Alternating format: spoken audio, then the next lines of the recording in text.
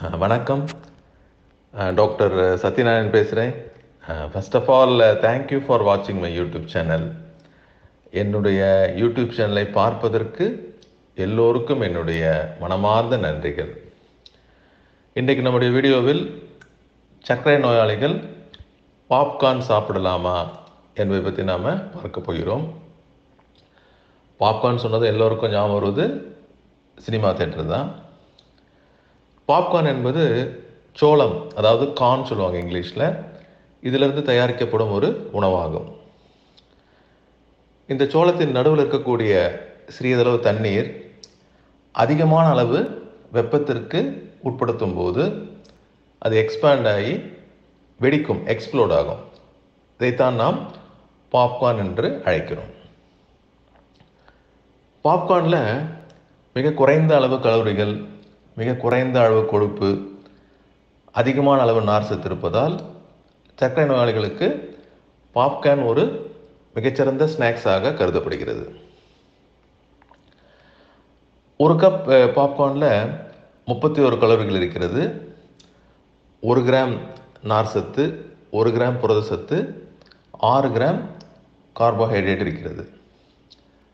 மேலும் இதில் அதிகமான அளவு வைட்டமின்ஸும் மினரல்ஸும் இருக்கிறது. குறிப்பிட்டு சொல்லப்போனால் vitamin B one B three B six vitamin E vitamin A ஆகியவை அதிகமான அளவு இருக்கிறது. மினரல்ஸில் பார்த்தீங்கன்னா magnesium manganese copper potassium zinc phosphorus calcium இவையெல்லாம் அதிகமான அளவு இருக்கிறது.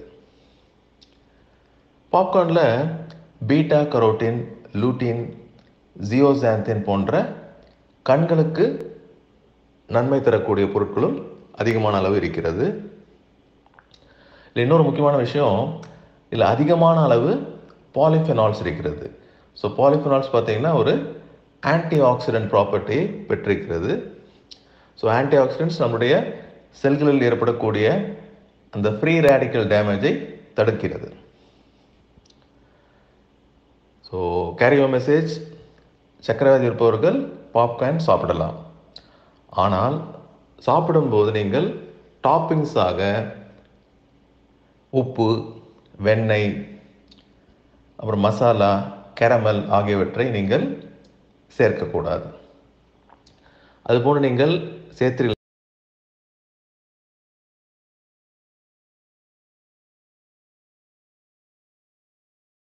சேர்த்தீர்கள் என்றால் உங்களுக்கு அது கெடுதலை ஏற்படுத்தும். ஸோ சக்கரை இருப்பவர்கள் அன்சால்டட் அன்பட்டட் பாப்கார்ன் அதாவது வெண்ணெய் சேர்க்காத உப்பு சேர்க்காத பாப்கார்னை நீங்கள் சாப்பிடலாம்.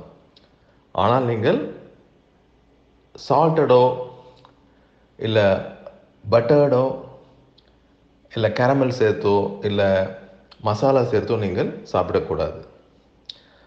ஸோ இன்றைக்கி சொன்ன தகவலாம் உங்களுக்கு பிடிச்சிருக்குன்னு நினைக்கிறேன். இந்த வீடியோ பிடிச்சிருந்தா லைக் பண்ணுங்கள் ஷேர் பண்ணுங்கள் நன்றி வணக்கம்.